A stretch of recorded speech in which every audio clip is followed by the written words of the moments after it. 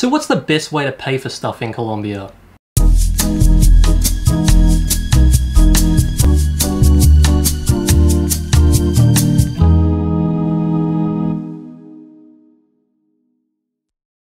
Hi all, I'm Ezrato and you're watching my travel channel where I talk all things Colombia. Now if you've seen any of my other recent videos, you'll know I've been covering some of the baseline essential things you want to have uh, for your day-to-day -day life in Colombia. And today I wanted to cover another topic that would fall into that category and that is the topic of paying for stuff.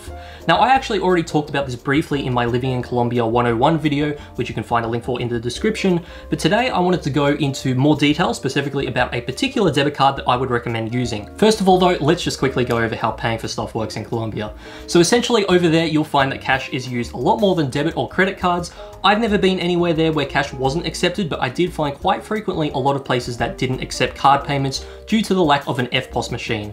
Most of the time, you can guess which places will and won't accept it based on how big or small uh, the business is. Like for instance, restaurant chains and department stores generally accept card, uh, whereas local eateries and souvenir stores generally don't. Uh, there are times though where you might be surprised, like for instance the National Museum in Bogota doesn't accept card payments for some reason. So yeah, I would say it's a good idea to have a bit of cash on you at all times, unless you're just popping out quickly to go to the supermarket or somewhere that you know accepts card. Uh, that being said, it's probably not a good idea to carry a lot of cash on you, as if you get robbed, you obviously don't want to lose too much. I mean, it's unlikely you will if you know what you're doing, but it's a good precaution anyway to not carry too much cash. Anyway, moving on from cash, what I really wanted to talk about today, as I mentioned, is a particular card I want to recommend for use in Colombia, and that is this international debit card from Wise, previously known as TransferWise. They are not a sponsor, but I just wanted to talk about it as it's the card that I use in Colombia and probably the easiest, most hassle-free, and least expensive option there there is to use there. I mean, you could get a bank account over there, I guess, but I wouldn't recommend that unless you're staying on a long-term visa as it's going to be a lot of hassle to set up otherwise, like they'll want a cedula and a bunch of other stuff you probably don't have. As for using your debit card internationally, this will obviously rack up a lot of fees, and even the travel cards your bank might offer will likely get expensive if you're in Colombia for several months or more, although if you're there for a month or less, that might be a viable option for you. Uh, anyway, getting back to the Wise card though, the best way I could explain this is that it's like PayPal, but if PayPal also made a debit card that you could use to spend money from your account. The way it works is that you open a Wise account online and then you can order the physical card to associate with the account, which is a bit over five US dollars, I believe, and then you're more or less good to go. Uh, you'll just want to make sure that you order the card in your home country before you go, as I don't believe they ship to Colombia, and even if they do, you can't actually use the debit card in the country it was issued in. Alright, so setting it up is pretty easy. I'll just leave the links into the description to the website and the card purchase page, and then you can just go through the prompts yourself. Uh, once it's set up, you can add uh, money to it from your own bank account quickly and easily. They offer a number of methods for this, like transferring with PayID, using your debit or credit card number, a manual uh, bank transfer, Google and Apple Pay, and for most of these methods, uh, the transfers will take less than a minute. I should mention that Wise unfortunately does not allow you to hold Colombian pesos in your account. It'll just hold the money in your own currency, and then when you go to use the card to pay for stuff, it'll convert it at the best rate. This rate is probably miles lower than what you'd be paying with your own bank card, uh, but if you don't want to take my word for it, you can, of course, try both cards in Colombia and see which works better. Uh, in terms of using the actual card, it works just the same way as a regular debit card you just tap it or insert it into an EFTPOS machine to pay for stuff, and you'll just enter the PIN number you created if you inserted it. Uh, whilst Wise also allows you to set up tap and pay with your phone, where you just tap your phone instead of your card, I never found anywhere in Colombia that actually supported this, so it's best to just use the card instead.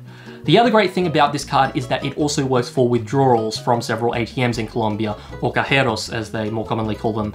Uh, from my own experience, I can say that it works with ATMs associated with uh, two very common banks in Colombia, Davivienda and BBVA, although it doesn't seem to work with Bancolombia or Banco de Bogota. Uh, whilst these are the two largest banks in Colombia, uh, BBVA and Davivienda are also very widespread in every city, so if you look up where they are before heading out, you won't have any issues.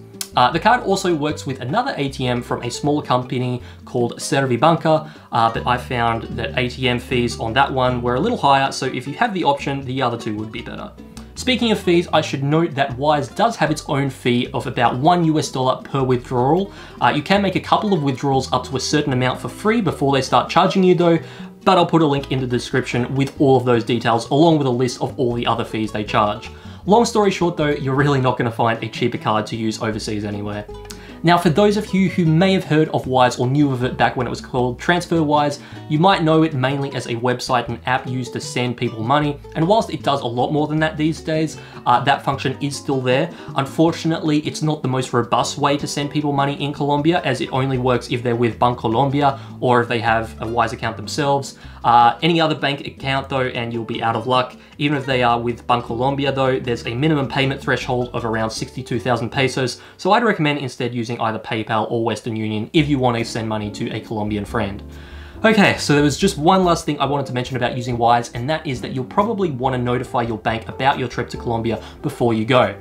I found out the hard way that even though I was never paying for stuff with my Australian debit card, my bank still ended up blocking my account just because of all the regular transfers I was making from it to my Wise account. So yeah, just make sure that you tell them that you're going to Colombia and maybe even that you'll be transferring money uh, to your Wise account regularly to avoid that from happening.